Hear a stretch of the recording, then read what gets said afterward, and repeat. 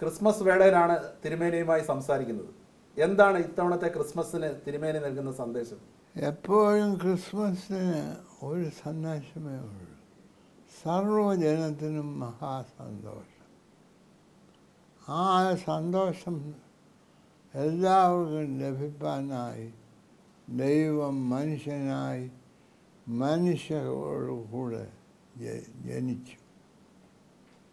മനുഷ്യന് ദുഃഖമല്ല.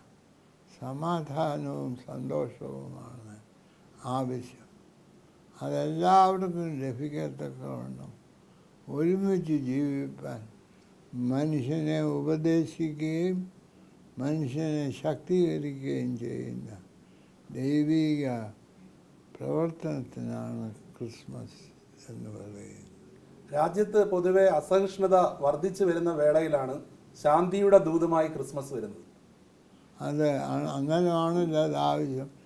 രോഗമുള്ളപ്പോഴാണ് ഡോക്ടറെ ആവശ്യം.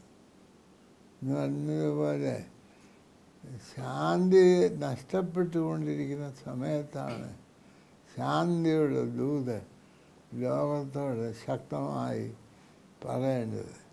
അതിന് ക്രിസ്മസ് സമയം ഇപ്പോൾ നമുക്ക് പറ്റിയ സമയമാണ്.